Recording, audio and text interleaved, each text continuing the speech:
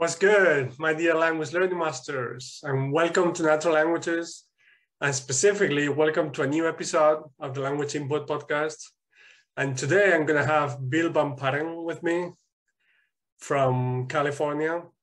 Okay. And well, he, he's going to tell us about all the research he's done when it comes to how the language acquisition process actually works.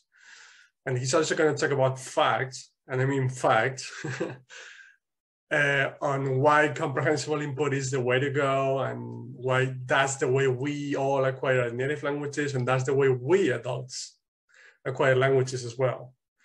So I believe this is going to be a tremendously useful episode for you. So yeah. With that being said, let's let's get right into it. Let's go.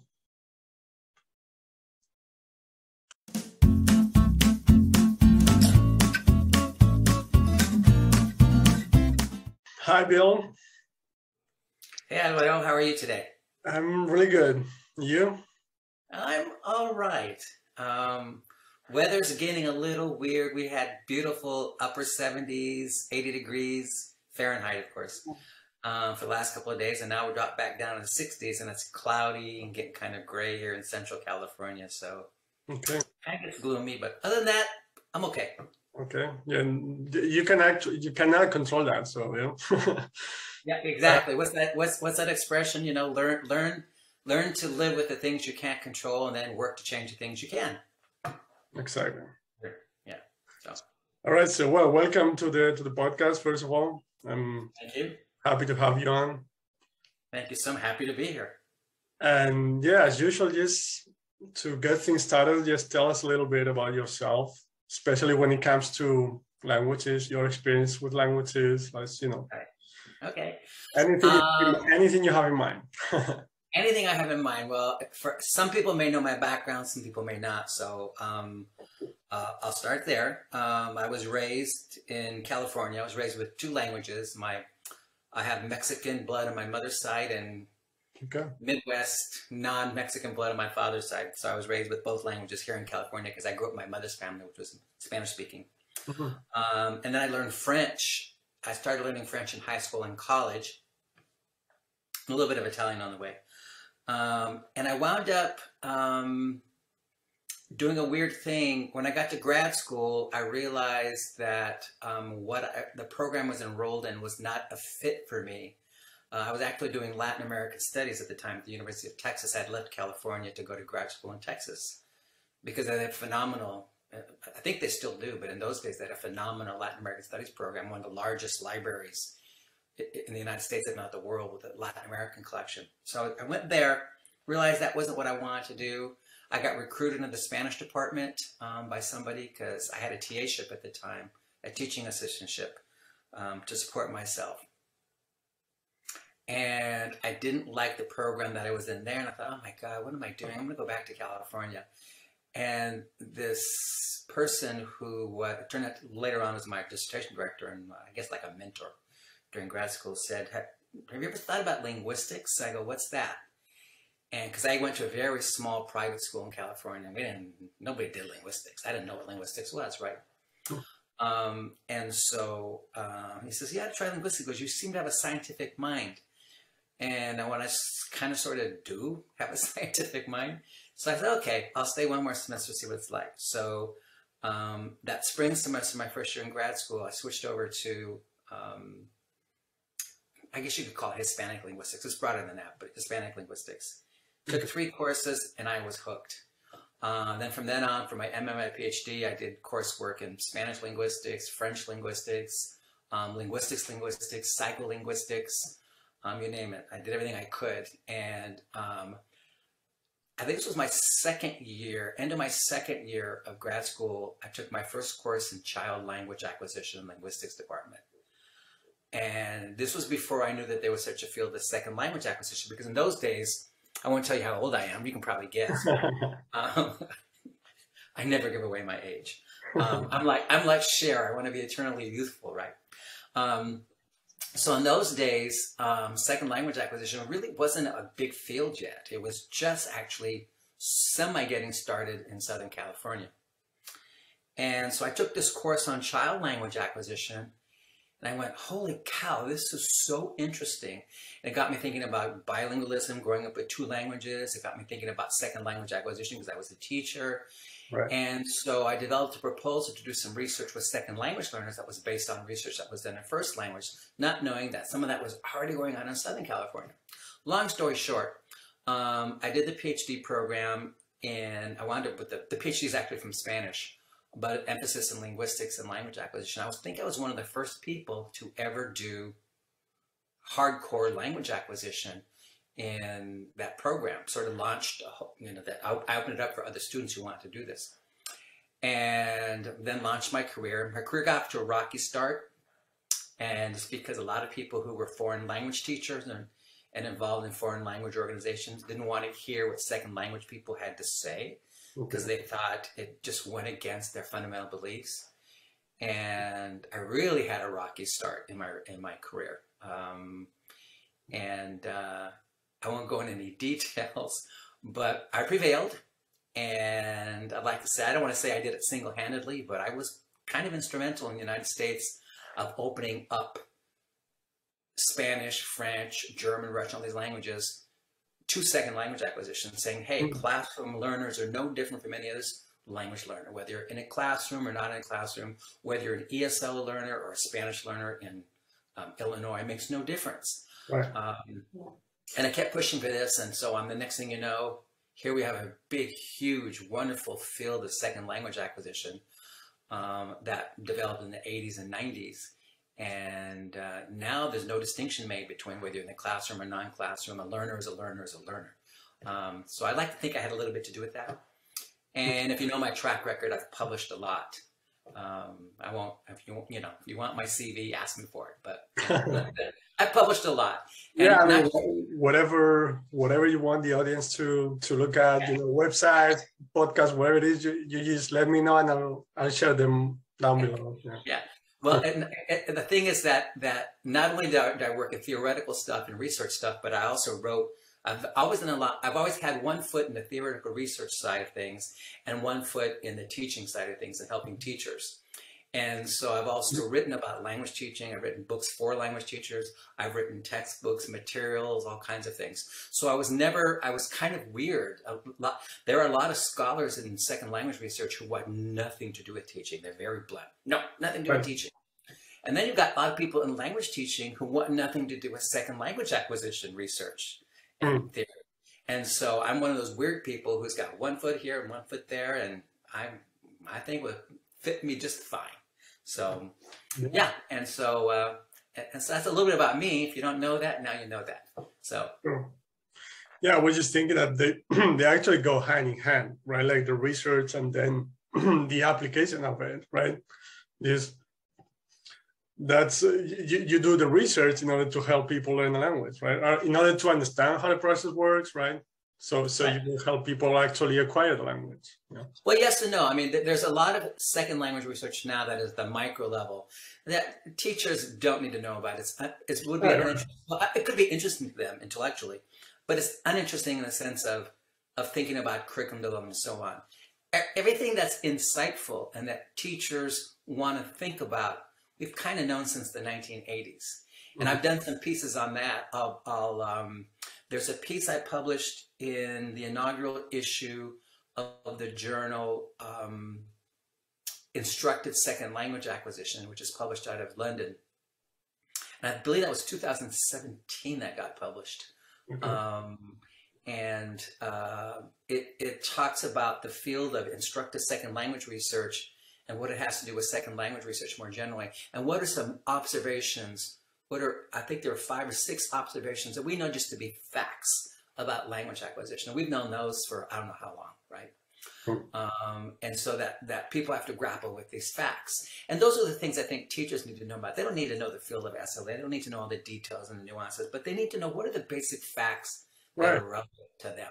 So, and I've been working a lot on those, those kinds of things for the last five to 10 years, just getting, trying to get that information in teachers' hands. Right. Yeah, like this is the way the brain works, right? And this is how you're gonna help your students. Yeah, you, they don't need to get into to the specifics of it, like what what what actually goes on inside, but this is what you need and these are the facts so right so you know you're doing the right thing right yeah but it does but not this but i'm gonna i'm gonna say something here Alvaro, that that yeah. i think is important for teachers to hear and that's that even with these facts um they're not dicta. They're not they're not maxims or they're not things that tell you how to teach or what you should mm-hmm. do. They're insights so that you can make decisions for yourself. Because yeah. all, all, teaching is ultimately local right? And sometimes you have to make decisions about what you're doing. They're unrelated to acquisition because you have pressures from administration or you have pressures from your institution. And so it, teachers are stuck in that middle uh, so you get the insights you can make use of it and then you deal with your realities and so on right. um, and so even though i might push from a certain direction say here's what i would do and here's what my classes look like and so on. Right. But that might be different for you. It might be different for another teacher. Right? Right.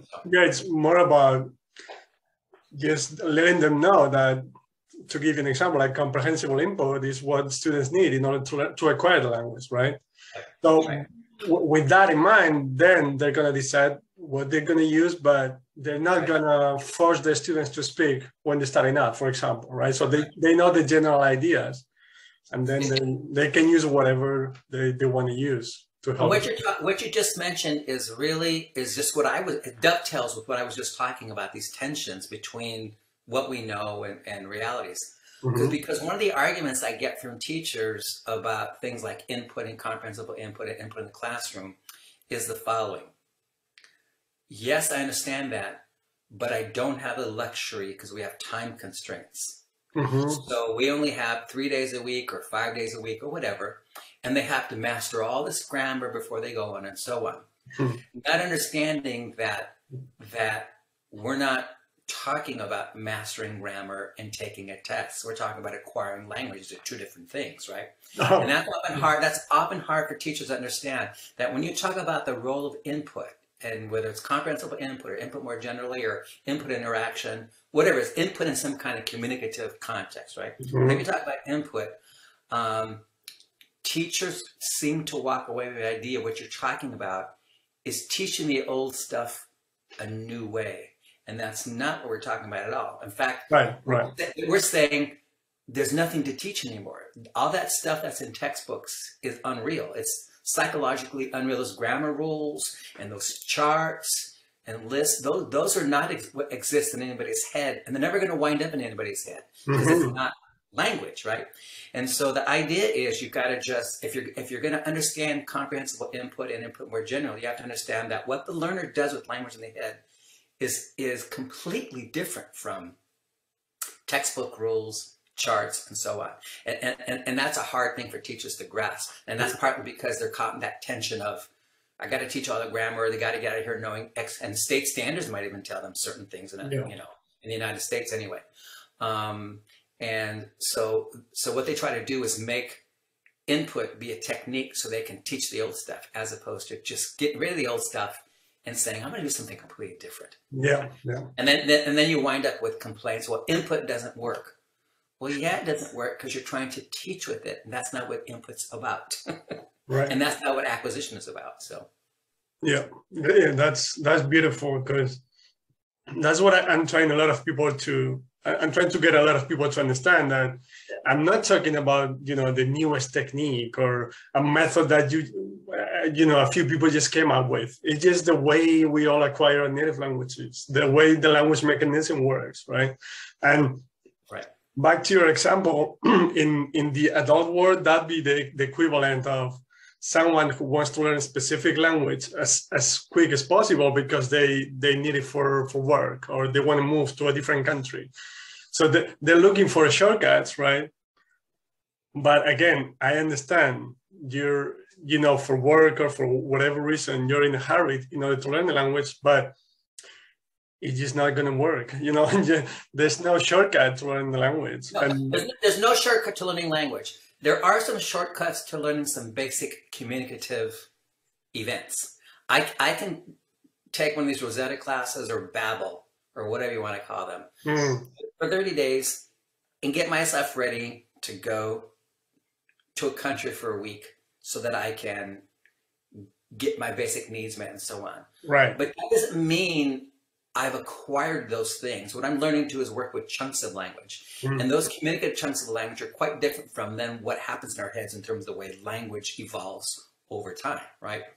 Um, and so, uh, and we see the same thing in child language acquisition, by the way, the way children work with chunks and some phrases and bits of language that they haven't they have not analyzed unconsciously or internally yet, right? Mm. Um, yeah, we can all do this at any age, but that's not language acquisition. That's just right. trying to perform some very specific communicative act, communicative act, mm. uh, and that's okay too. I mean, that that's what you want to do, uh, but we have we have to be careful that we don't confuse that right. with acquisition because acquisition is a very, very, very long process. Mm-hmm. Let me, I'm going to say this for your listeners because I don't know if they've ever heard me say this or I've put this in print in a couple of things too. Let's look at child language acquisition, right? Um, a child, we know now that child language acquisition technically begins in the womb, late in the womb. The, the fetus get at a certain point, around about seven months or so. I, I got the months wrong, so don't. Those of you who work in child language acquisition, don't don't jump on me. later, later in development, there's certain rhythmic patterns and sounds that the fetus is picking up from the environment. You know, through the womb, through the stomach wall, and so on. Um, so language acquisition actually begins there, but but let's just forget about that, and let's forget about the first year when the baby is just lying there, squiggles, you know, and the hands are going like this, and ga ga ga ga ga, you know, and mm-hmm. let's even though we know language acquisition is happening, let's just let's just forget about that. Let's look at from year one when the child actually you might actually get a word out of the child or something, right? Mm-hmm. Um, so let's at year one. How long, how much time is involved in acquisition? By the time that the child is five years old, which is the typical age to go to school in the United States, but that child has amassed something like 14,000 hours of input and interaction with input with different people. And guess what? The child's still not done. There are lots of things in place, but at the age of five, there's lots of things that aren't in place. Um, specific examples like passives, like, you know, the cow was kicked by the horse. Those kinds of things, or Mary was kissed by John. Those kinds of passives aren't in place for a child age of five. And we don't see them firmly in place till about the age of eight. And then there are other things. Even the past tense system in English, there's a there's parts of it that are missing in the child's language at the age of five, right?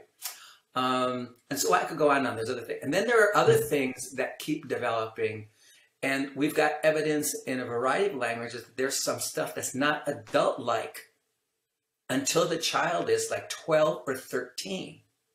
So you have to imagine that's a long haul. So eh, you can think in years from 1 to 12 and go, oh my God, that's like 10, 11 years. But think of it in terms of hours. And the right. reason I tell people think in terms of hours is because when you deal with second language learners and you think in years, a second language learner is not engaged in language acquisition eight or nine hours a day like a child. That person's engaged one hour a day if you're right, right and maybe with a little work outside of class, depending, maybe, you know, one and a half, two hours a day, mm-hmm. right? Yep. How long is it going to take that second language learner to amass the thousands and thousands and thousands of input interaction the child gets to become a, a competent and fully fluent speak knower and speaker of a language? It just takes a long time. Mm-hmm. Um, but like you were saying earlier, people want shortcuts, and that, that's one of the things we know. There are no shortcuts. It, it takes time, yeah. and um, people just like to fool themselves that it that it doesn't. So. Exactly. yeah, but I also like to say that the good news is um, you, you don't need that long in order to be able to understand different resources. So I, I myself, I love language, uh, learning languages, and I'm not in a hurry first of all because i know it's not going to work and then because i'm you know i'm not i'm in no hurry because i need it for work or whatever but so i really enjoy the process of watching a series or listening to podcasts in different languages and even though i might not be able to communicate at that level yet but after a shorter period compared to that you were talking about, I, I can enjoy a lot of different resources because I know input comes first, right? So you know, I, I, I can get exposed to an hour or two of a language a day and I'm okay with it because I'm, I, I'm patient. I, I know it's going to happen because it's a natural process. I'm, I'm already enjoying the process because I'm, I get to watch uh, original series in French or, or, or listen to a podcast in Portuguese about a topic that I'm interested in, right? So it's not that it's going to take you 10 years to start enjoying the, the language, if that makes sense for an adult, right? Right, exactly, exactly. And, and I think that what teachers need to recognize is that they have captive learners in their classrooms, but language as a tool, both as an instrumental tool and as a social tool, um, isn't the learner is in control of his or her motivation and disposition along with all the internal things that make language acquisition happen, right? And so um, I'm like you, for example, I, I, have got advanced work in French um, as part of my MA and my PhD, right? I, I'm, I'm not that good at French. I don't care. I'm good and I'm happy with what I have in French. Right. And no teacher should impose on me what my goal should be. Right. That they should be this right here. Um, and but that's what we tend to do. At least I'm, in university programs, we do this um, in the U.S. The idea is that this is this is what we are, and this is what our goals are. So they should be your goals. Right. Um, and unfortunately, that that doesn't work for a lot of language learners because they're yeah not like that. So yeah. Yeah, this is a lot of things. And I, I was just thinking, so you, you pretty much were convinced by the by the comprehensible input theory from the get, right? Because you you said you were already trying to convince teachers when you started, right? Was it because of your linguistic studies or your bilingual background, or why why was that? It it, it started to happen as um, I got more and more involved in um, looking at what learners do with language over time. My MA thesis, for example, was on the acquisition of ser and estar in Spanish. Those of you who don't speak Spanish, there's two verbs in Spanish that are like mm -hmm. be. And uh, in, in most contexts, they don't overlap. They have different functions. There's only a couple of contexts we, we can actually use both verbs, and you have to sort out why and so on. And so I was the first person to document stage and acquisition of how these verbs develop in learners over time as part of my MA thesis. And um, and since then, there's been lots of work done. I continued that work. Other people continue that work. 2010, I wrote a review article in Hispania, the journal that's published in the United States. If you want to look that up, it's again 2010. Mm-hmm. Summarizes what's going on with that, which was said the staff. But it was that initial work I did way back in my MA thesis that made me go, because I was smack in the middle of my studies and I didn't know, I didn't I have all my linguistics yet and I have all my psycholinguistics yet, so on. But it was looking at those patterns of development and learners that made me go, they are doing something to language completely independent of what's going on in their classrooms. Mm-hmm. By classrooms, I meant their textbooks and their, because th- in those days, learners were largely, um, it was learn your grammar and so on, but there was some conversation. Right. Excuse me. And the more I looked at what was going on, I could see that their, their language mechanisms were picking pieces and parts of stuff out of the communicative data they were getting in the classroom, as impoverished as it was, it was there, right? Hmm. Or readings yeah. they had in their textbooks. Right. And they were constructing a system of ser and estar over time um, that had nothing to do with what they were learning in textbooks. And I also, because I also noticed the following. What else, one thing they were doing is they were also picking up chunks in the, um, in the cumulative input. So even though the earliest stages, for example, the, the first stage of the active status you, will see it in a lot of learners, is they just leave the verb out. So instead of saying, you know, Juan, Juan es alto, for example, you know, so John is tall, they say Juan alto. They just don't put a mm-hmm. verb in, right? or uh, Maria no aquí, you know, that's how they say it in their Spanish one on the side, Maria no aquí. So instead of saying Maria no está aquí, they would just say Mary not here. Mm -hmm. And so, um, but at the same time that they were doing that, you could see that they had a tenseless system without verbs, and they were their the beginning of their language system was doing something, independently. So they, but at the same time, they had chunks like "Cómo estás?" They had no idea what that was, but they knew that's how you asked how somebody was. Right. Right. So they could. So I thought they're picking that out of the input as well. Some communicative interchange in the class. They're picking these chunks out that uh, you know occur over and over and over again, and incorporating it as a lexical item. So I saw a grammatical stuff developing, and I saw chunks developing as like big lexical items. And that was when I first started to think about they're pulling stuff out of the environment and doing something with it. And then along about that time, um, who when Krashen first launched his input hypothesis in the late 70s.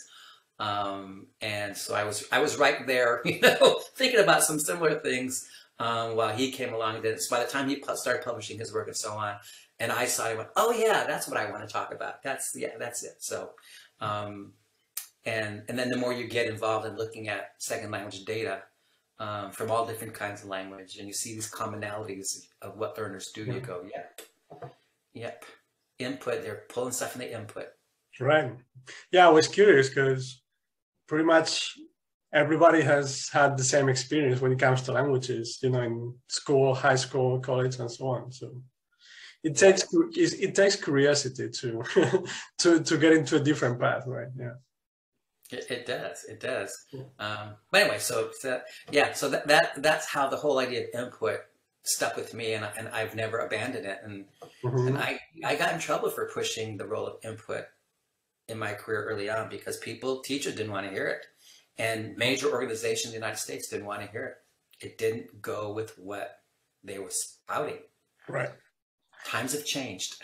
yeah. And, and I always talk about the, the internet because you know, now for whatever the topic, we're talking about languages here or any topic, you have different opinions, different ideas, and so they're they're out there, right?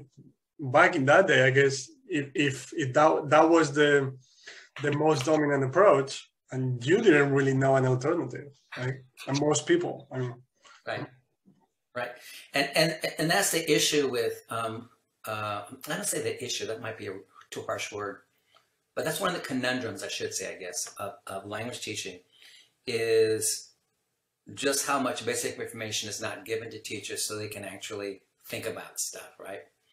Um, and it's it's a fault in the way, at least in the United States, teachers are educated and trained pre-service, and then their post-graduation professional development things they get to. Um, again, that's changing in some places and in some manners. Um, but there are still forces. I watch things happen in the United States with national organizations and regional organizations where they inadvertently reinforce old ideas, not knowing that that's what they're doing. They think they're doing something different, but they're really not. Yeah. And the problem you have in language teaching then is that because these basic things are not well known uh, uh, from research, then everybody's opinion matters. Hmm. because you can have an uninformed opinion, and my uninformed opinion is just as important as your uninformed opinion. So, yeah. and and, that, and again, and and it's not to discount teachers' experiences either, because that's a separate thing. I understand. I get that. Yeah. You know, my experience is. I get that.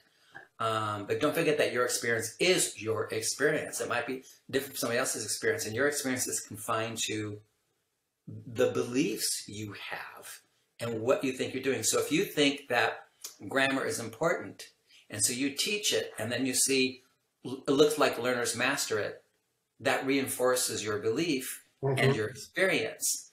Um, but if I if I took your learners out of your classroom and tested them the way a linguist does, a researcher does, what they're doing in your class will not show up in my research. I can guarantee you. Sorry. Um, and so your experience are reinf- it's a, like a self-fulfilling prophecy, right? Um, so anyway. Yeah, um, you, you, don't even really need to know the the linguistic or research route. You just you try to have a conversation with one of those students. That's you know, there's no. I always talk about that. There's no way to fake fluency, right? right, right. I talk about that in the in the context of you know like job interviews and things like that. That you know, just talk to the other person. There's no way to fake fluency, right? anyway.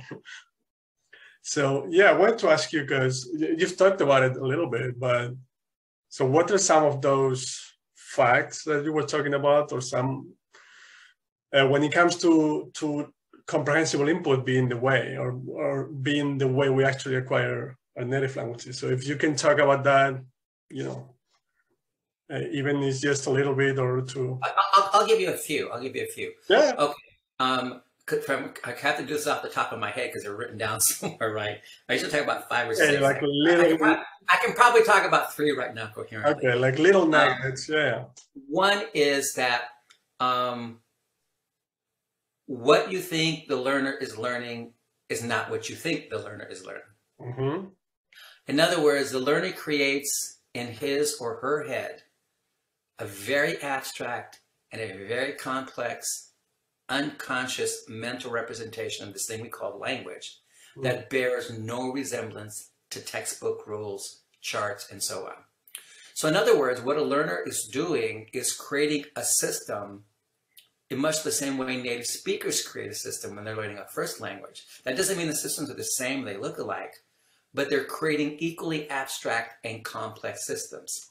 And but teachers aren't trained to look for those. They're trained to look for can they give me the past tense of the verb? Can they give me the first person singular of the verb? Can they give me this case ending in this test I'm giving them? That's what they're trained to look for. And if and if I do simple conversations with them and I ask, you know, um, uh, who did you see yesterday? And the answer is, oh, I saw my friend. And if I don't put the right case ending on friend, accusative case ending on friend, because it's the object of saw, then I'm concerned as a teacher, right? Because that's what I think I'm focused on.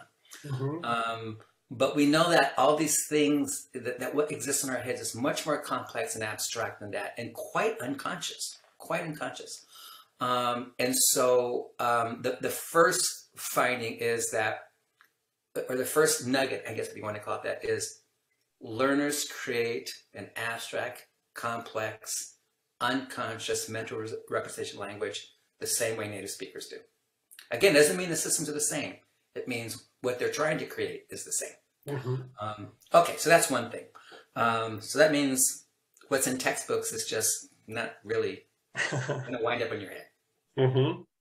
Okay, um, the um, second nugget we've already talked about that input um, that's embedded in communicative acts is indispensable. It's the necessary ingredient for language acquisition, right? And the corollary to that is it should be comprehensible. Because if it's not comprehensible, it's just noise. Okay. So the idea is that learners need access from the very beginning and all along the way, all throughout language acquisition, not just the beginning, not just the middle, not the, all through acquisition. They need access to language in communicative contexts that they can comprehend, right? Um, and I, I, like to say a co corollary of that is learners need to interact with that input.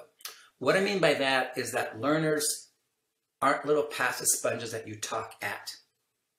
So if you're a classroom teacher, it means you talk with, that you expect learners to be engaged. That doesn't mean learners are speaking in full sentences or learners are um, demonstrating knowledge.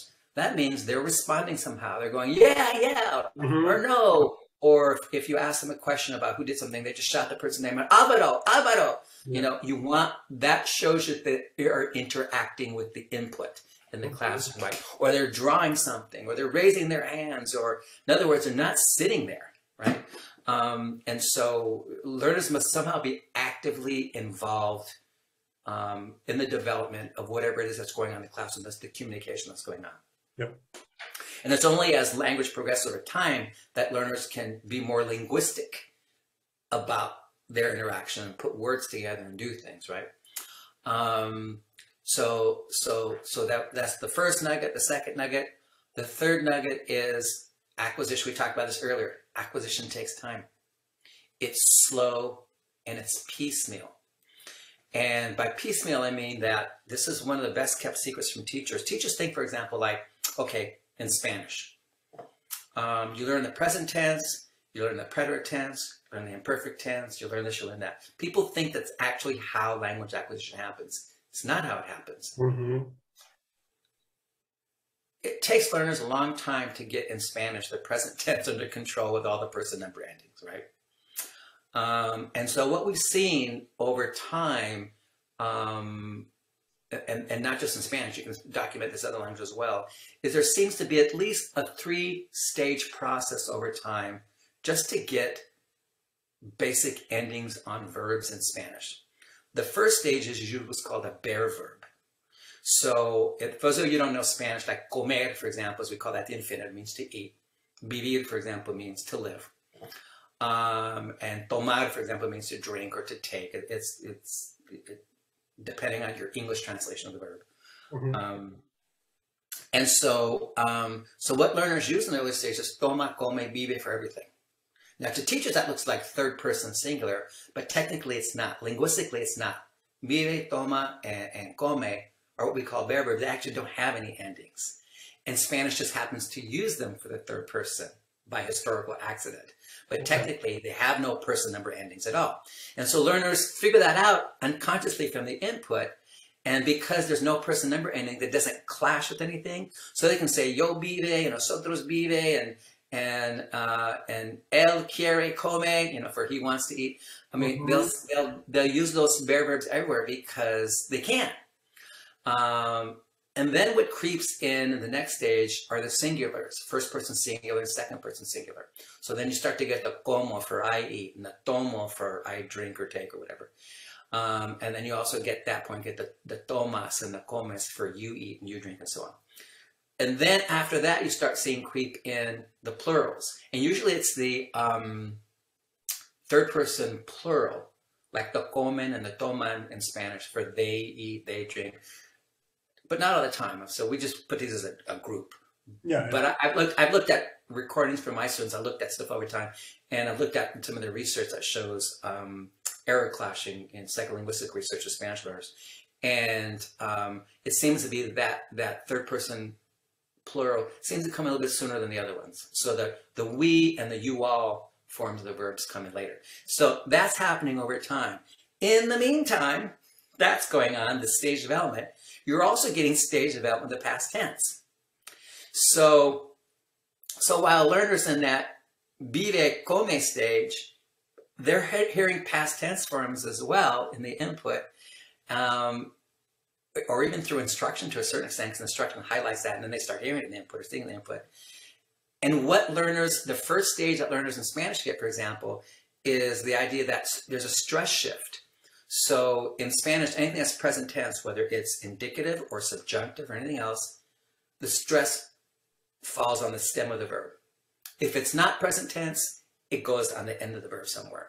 So that's both for past okay. and future and conditional, all those kinds of things, right? and past, subjunctive, and so on. Um, but I, because I, I, I, didn't know that myself, but uh, yeah, just go on. so, so, the past, so the past so the past, for example, the past is more frequent than anything else of those other ones. So it's present is the most frequent, the past is the most frequent. Then after that, everything else drops off to like 5%, 3% of the input and so on.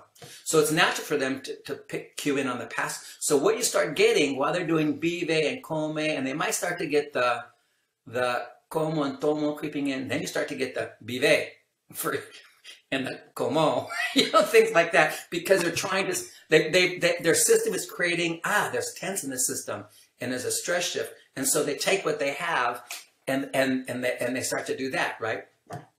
And that's why they also start, when they start to learn irregular, irregulars, they start to regularize the word like tuvo for he had of tuvo, right? Um, so anyway, so my point is that these things take a long, long time. They're piece, piecemeal and they're stage-like. And we have hundreds of examples of this across all kinds of languages. This is a universal phenomenon, right? And so teachers need to understand that learners are going to do that in their heads um, because that's an important insight because then it makes you think how you're going to deal with non-native like productions and structures in your classroom. So when a learner does that, what do you do with it, right? That's for you to think about but you have to know that's going to happen and, and kind of why it happens not necessarily why it happens but that it's a natural phenomenon right mm-hmm. um, and so this whole idea of stage development piece the middle development and the length of time it takes for acquisition to happen is an insight that teachers need to have So I think I just gave you three, if not four. So there you go. How's that? Yeah, that that's, that's wonderful. that's wonderful.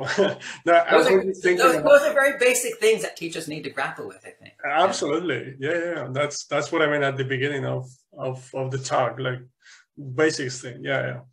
But I, I was just thinking about a little example with English. Like I personally, I can perfectly communicate in English. I've you know I've been exposed to thousands and thousands of of of hours of comprehensible input in English, and even though I perfectly understand the, the what I'm going to talk about, I perfectly understand the word from a conscious standpoint. I'm going to talk about, you know, saying his or her. I'm, I'm perfectly aware that his means, uh, you know, I'm talking about a man, a man or a boy or masculine, a her for, for a woman or a girl. You know, I'm perfectly, but even then, when, I, when I'm speaking like uh, in, in, in real time, sometimes I use his when I, I, I, I use, I, I, I had to use her or, or the other way around, right? Yeah. even like little things like that that they're so obvious from a conscious standpoint, right? But it's just not how it works. Yeah. Yep, yep, and that, yeah. Um, and we see those in advanced speakers of English too, um, not just early stage learners. I mean, people who are well advanced, like you're saying, like yourself, you're you're excellent speaker of English. Um, and my guess is you're an excellent knower of English. You got a lot of unconscious knowledge about English in your head too. Yeah. But even then, these things just happen, right? yeah. Um, they just do. yeah, or, or people actually being perfectly able to communicate in English, but still saying he want, for example, even though they're perfectly aware of the need to add an S if you're Right. talking about the third person singular, right? Right. Again, from a conscious standpoint, yeah, it doesn't Right. mean that you're going to be able to produce it. Yeah.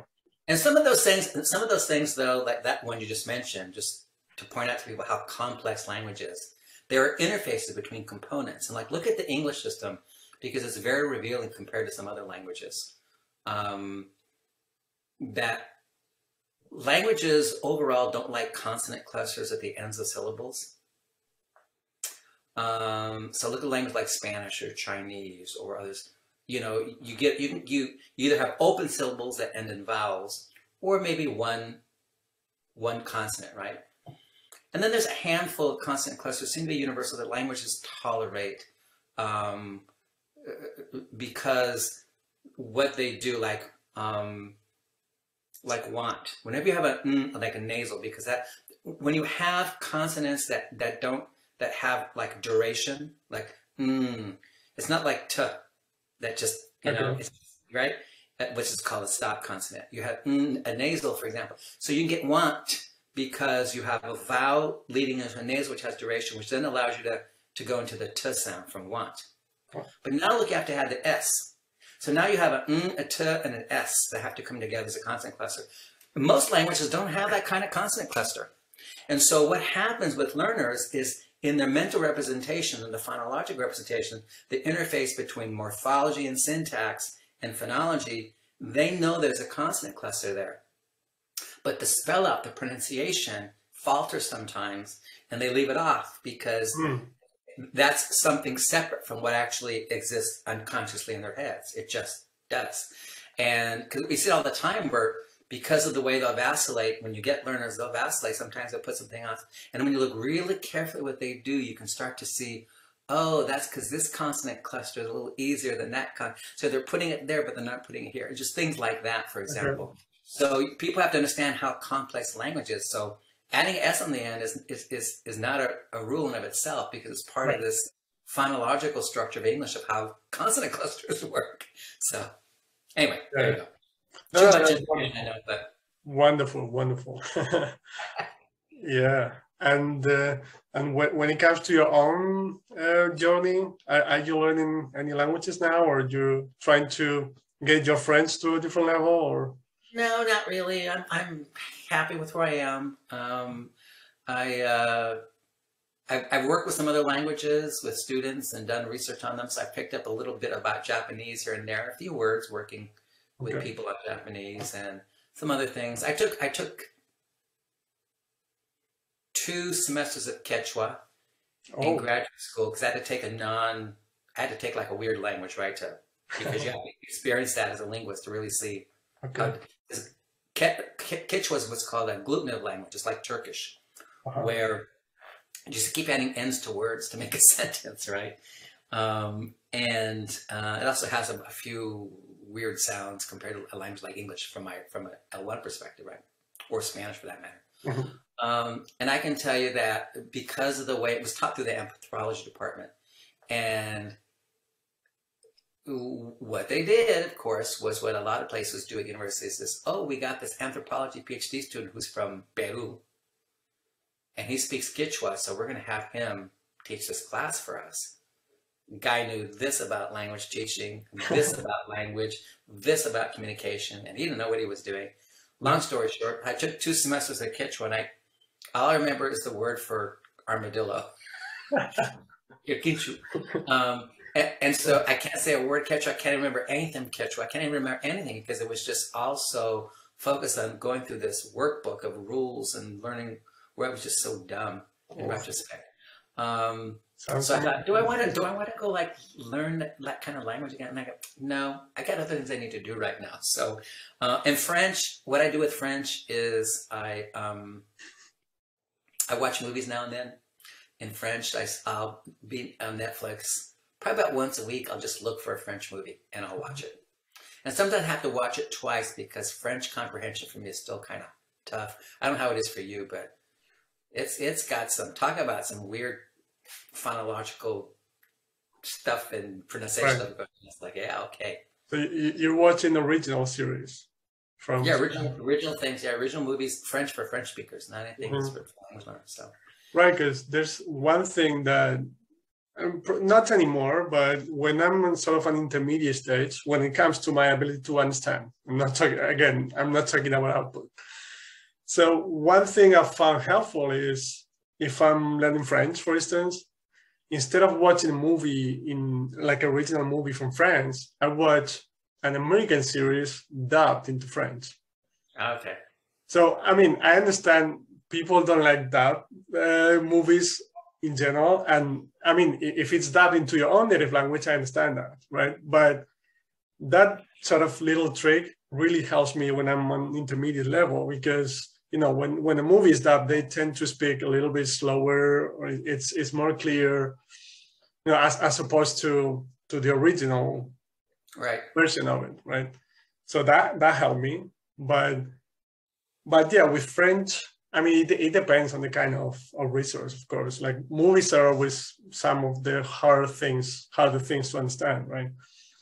But I there's there's um sort of a documentary or like a TV program in which like a typical travel program in which uh, you know they, they travel to to another country they visit some some french people living there or french speaking people living there and you know they show you the country. It's called échappée belle. It's re- really good.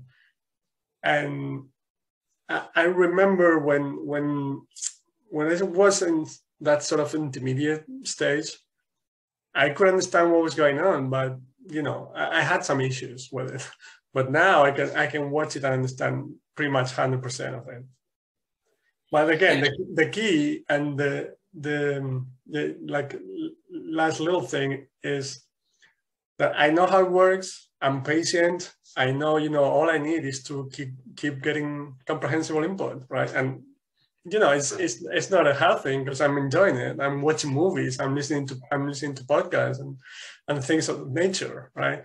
So, and I know it's a natural process, so it's gonna come, right? Right. What are, what are the things? One of the tr- you talk about tricks with with what you you, you watch the movie dubbed. Um, what I'll do is I'll watch an original French movie, but I watch it with the subtitles. And what I'll do is I'll watch the movie all the way through, so I get the basic plot and stuff. And then what I'll do sometimes, not all the time, but I do this. I, I guess I do it frequently enough.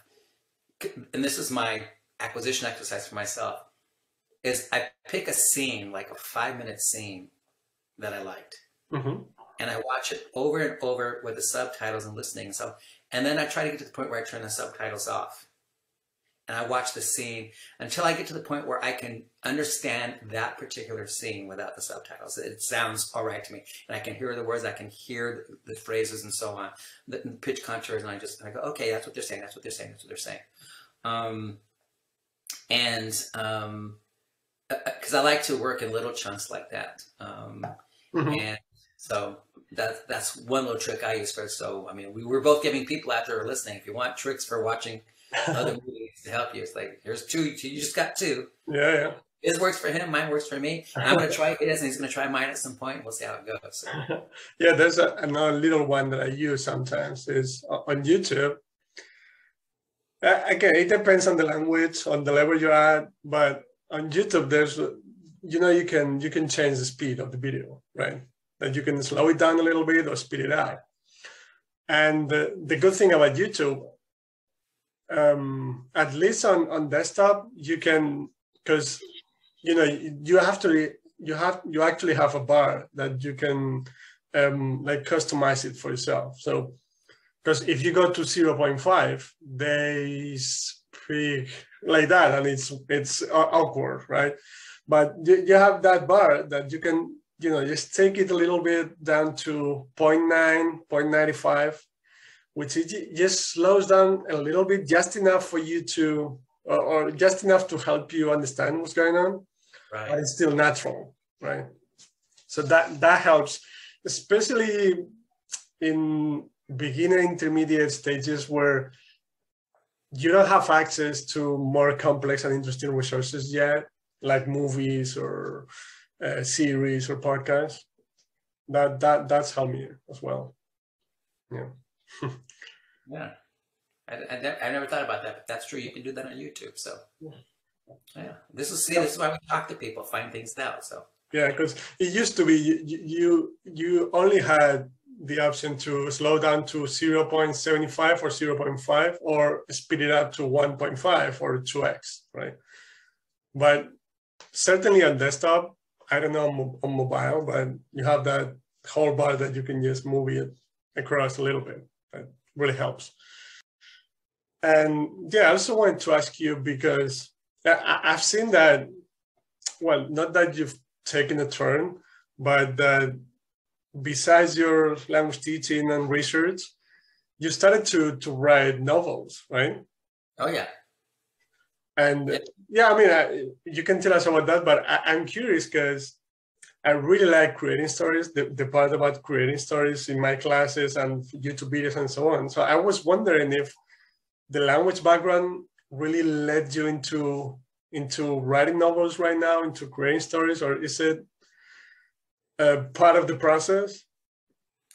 No, not really. I mean, I've always engaged in some kind of creative work with stories. I remember we had to do a creative writing thing in the fifth grade it was and that's when I wrote my first story ever. And the teacher liked it so much, he read it out loud to the class. And oh my God, I was like, you know, I was that nerdy, nerdy, smart kid. And every time the teacher singled me out, when am I going to beat me up in recess when I'm outside? so he read my story out loud. And so off and on, I dabbled in that, right? Um, I took up music, and then a lot of people don't know that um, when I lived in Chicago, when I was teaching at the University of Illinois at Chicago, I started taking stand-up um, com- I, I, took acting classes before, and I, t- I took up stand-up comedy. And stand-up comedy, you are creating your stories. Remember, stand-up comedy is not like acting, where it's somebody else's words, and you're mm-hmm. you're, you're, learning how to take those words and project them out to people. Um, stand-up comedy is you. It's your thoughts, your ideas. you, got to put it all together, and you got to go perform it. Um, so it's a very creative act that way, and it's and it's kind of storytelling in a way. Yep. And then I got into um, uh, when I was at University of Illinois, um, I got involved in Urbana-Champaign. I got involved with the Destinos Project, which a lot of people know in the United States. It launched in 1992. It was a 52 episode telenovela in Spanish for learners, for students. Oh. And so I was a co-author of every all 52 episodes. Um, and that just reminded me how much I liked creating and doing things. And, hmm. um, and then I did Sol y viento in Spanish, um, which is a movie uh, from McGraw Hill for students. And then my colleague, former student colleague, Winnie Wong, who's at Ohio State University, who, does, who teaches French, she's a French professor. Um, we approached some companies and developed the project Liaison, where she and I co-wrote the scripts in French for the movies. So there I was again in storytelling um, in, in, that mode. And, um, and I always use stories in my classes. And so I started doing creative writing actually when I was teaching at Texas Tech. That's when I picked up the actual putting my fingers to the keyboard and putting stories on a page mm. for consume for English speakers, for you know consumers of English stories, right? Yeah. And so, or English language stories, I should say. Um, and I've just been doing it ever since. And then I started my first novel there, and then I finished it in East Lansing. Um, and uh, I've been Michigan. writing ever since. Yeah, and then I sort of, when I left academia, I've just been, as I said, poco a poco, saying, bit by bit, I've been transitioning myself to writing fiction full time. So that's kind of what I do now. So, nice. Yeah. Oh, my first cool. novel, I'm going to give myself a plug. My first novel, Seidon's Tale, um, won a prize, an award in 2019. It's called the Kops-Fetherling International um, Silver Phoenix Award for Best New Voice in Fiction. So I was really pleased with that. Awesome. Um, so can I can I get a plug for my website for people? Yeah. If you want to know more about if you want to know about what I'm doing that's not academic, uh, you can find my academic stuff just by googling stuff me on online, right? But if you want to know more about my fiction stuff, go to it's billvanpatten.net. All one word, B I L L V A N P A T T E N dot net. Go to billvanpatten.net. That's my website for being an author. And there's some free short. If you want to read in English, there's some free short stories that you can just download and read from there that don't cost you anything. So awesome. Yeah, I'll leave the link down below just in okay. case. but yeah, that's wonderful because like stories in general, they're just so fundamental in our um, daily lives, right? So I, I was just wondering because I've noticed that I really like the process of creating stories for, like I said, for my classes improvising them in, in our classes or creating them for YouTube. And I really like that creative process. And obviously, you know, if, if you're creating them in order to help people learn your language, you need to adjust. Of course, you, you, you can't really get, you can't really use that, lit, you know, literary um, vocabulary as much, right? right? As, you know, as opposed to what you're doing now with your books that you're, you know, just write them in English for for English speakers, right? And I and I have done also. I started doing stories in Spanish for heritage speakers and second language learners. Um, if you go to another site, inputandmore.com, that's input and more, all one word.com. Mm-hmm. Um, I have this series, it's called Bridge Literature. It's for like intermediate level, going toward advanced learners of Spanish or heritage learners who are trying to get literate. I have a series um, called, uh, it's called the Bridge Literature Series. So you're not ready to read Cien Años de Soledad, for example, or Don Quixote, but you want something good to read that's sort of targeted at your level. Right. Um, that's the series. The first one is called um, Angel. The second one is called Elena. The third one is called Daniel. I'm supposed to be writing the fourth one called Gloria, but I've been so immersed in writing my novels, I have, I have to like push myself to get back to it because there's supposed to be four in that series and they're kind of neat stories because they they're they're long stories. They're like 7,000, 8,000 word stories, but they're little ch baby chapters. So for language learners and for heritage speakers who are just learning to get literate or in, in their in, in a home language, um, it's just the right length to deal with every night if you got a little bit of homework to do it. Because each chapter turns to be like 750 or 1,000 words. Yeah. That's doable, right? Um, and so, so those are those stories. And then for beginning and early stage intermediate learners, I developed these stories called cuentos cortos, which is flash flash fiction. And that's little, this is hard to do, uh, what I'm telling you. For the, the, the stories have to be less than 450 words, self-contained. Okay. Um, but they're using, they've got some universities and, and places and a couple of high schools who are using them because they're nice and short. And they also have activities with them so that, you know, you can use them again with language learners. So I'm, I'm, I'm writing in Spanish. In fact, my neighbor across the street, Erica Perez, her husband Domingo, I love her, her husband Domingo Perez because my grandfather's name is Domingo, even though his last name was Trujillo, but my grandmother's maiden name was Perez. And so I tell you're like, you're like my grandfather and my grandmother put together. So she reads all the time and she read my first novel, loved it. She goes, anything else? I go, yeah. I go, I got another novel coming out, but I'll get it to you in, you know, in, um, you know, when it comes out. But in the meantime, if you want to read something in Spanish, I've got these. She goes, I love those. So I give her those. She stopped me when I, she read Angel first. And she stopped me when she was pulling out a driveway. She goes, Bill, I think you write better in Spanish than you do English. I go, no, no, no, I don't. I don't.